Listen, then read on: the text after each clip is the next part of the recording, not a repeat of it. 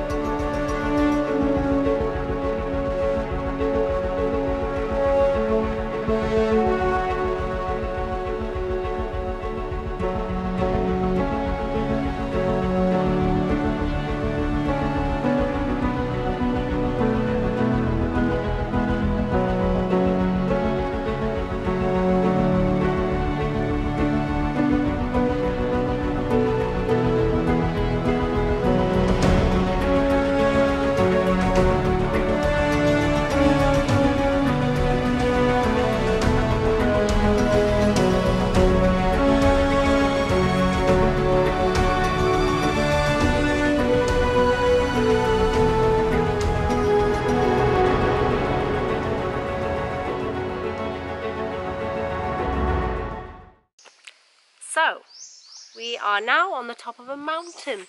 So we've been driving up this kind of really cool looking road over here. It's awesome. and there is no one, no one around at all. It's taken us about maybe 30 minutes to get to the top up here in the mountain. It's And so pretty. Can you hear the sounds around us?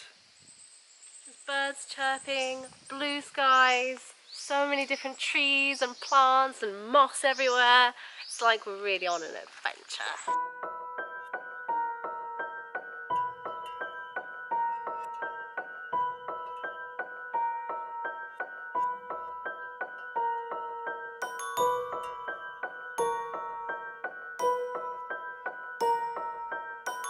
So apparently Siquijor is famous for witches uh, that are up in the mountains and that is what we are looking for today. Uh, I don't know if it's something that you can even go and do and find them.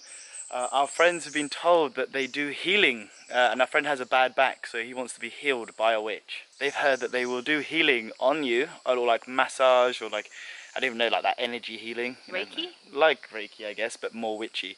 And Witchy Reiki. you can pay them like whatever you see fit. So if they do a good job, you can just give them a little donation.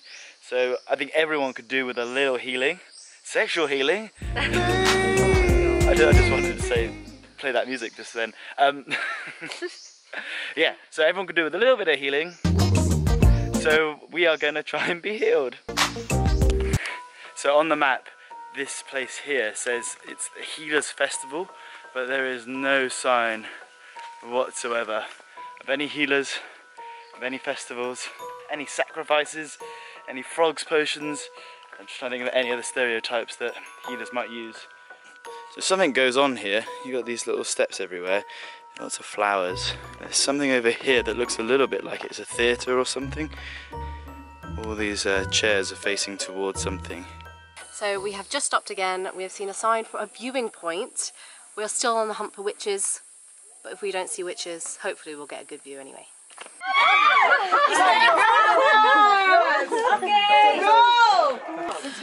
we met some people at the top of this viewpoint who told us they're the healers and they're willing to help us. with you. Yeah. Oh, okay. It's okay. Is it okay? Oh. Okay, okay. It's our turn. Yeah, yeah, yeah, you. Miss. The cup is is done, done, done. Oh, yeah, yeah. Sila Tiyo, kaiba. Five, six. Oh, yeah, yeah. Thank you. Okay, we have pictures together. Oh, my goodness. She's the healer, still virgin. Post on Facebook, ah?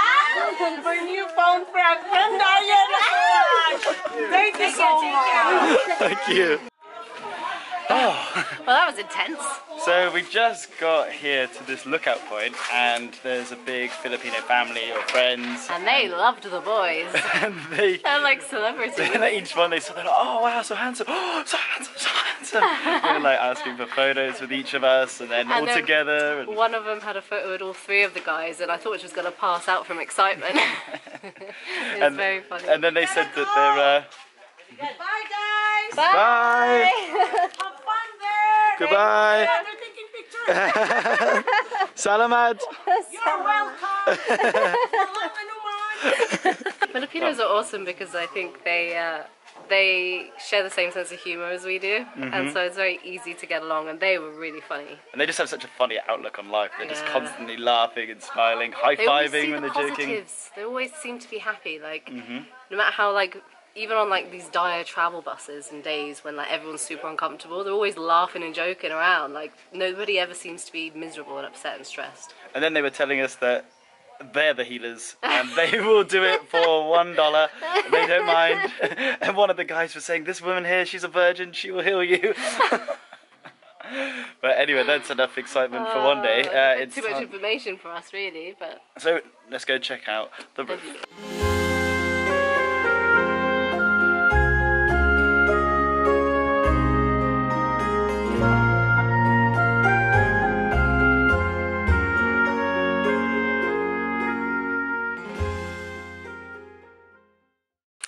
I think that was the highest point on the island. We couldn't see anything higher around.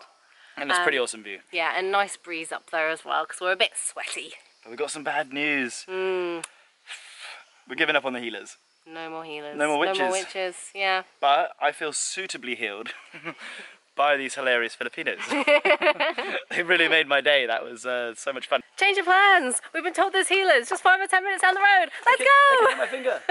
So we pulled over and the guys were asking some locals about where we can find the healer and we were told that this guy is like the great step grandson of her or something and so he jumped on the back of one of the guys' bikes we've driven around we found the sign that says Bolo Bolo Healer which apparently is something to do with like she gets some smoke and like puts it in a cup and I, I don't even And they think We're they blow it on your back, and but basically they're saying it's to do with faith. You gotta have a lot of faith, and I'm ready to be healed, to be honest.